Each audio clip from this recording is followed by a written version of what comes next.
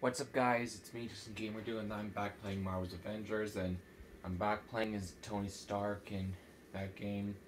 So let's go. And I'm back at the Chimera with Kamala Khan and Hulk. Do I want to know what's going on here? Hey, Tony. Just lending my, um, technical knowledge to Bruce here.